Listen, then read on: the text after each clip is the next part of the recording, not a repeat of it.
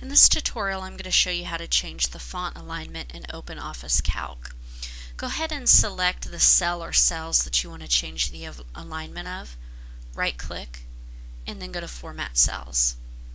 Click on the Alignment tab at the top of the Format Cells dialog box and this will take you to the text alignment. So first of all you're going to set your horizontal text alignment and this is the text alignment as it goes horizontally in your cell. So you can choose to center it um, to make it left, right, justified, or um, filled. So I'm going to go ahead and center my text here. Also, if you choose left or right, you can set an indent here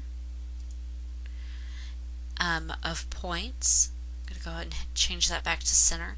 You can also do vertical alignment. You can have it be at the top of the cell, the bottom of the cell, or in the middle of the cell. I'm going to go ahead and choose middle.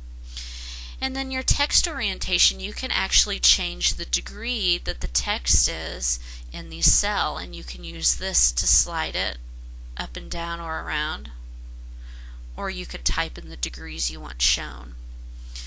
You could choose to have a reference edge, and this is where the text actually extends at, whether it extends from the lower um, cell border, the upper cell border, or from inside the cell.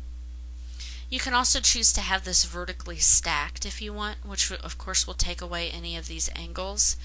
You could choose to have text wrapped automatically. That's if you have more text than fits in the size of your cell. And you can have, fit it to recognize um, hyphens. Or you can have it shrink to fit cell size. So if you type in a um, word or a number and it's too big for the cell, then it will go ahead and shrink it so it fits the cell. When you're finished with your settings, go ahead and click OK and you have applied your font alignment to the chosen cell or cells.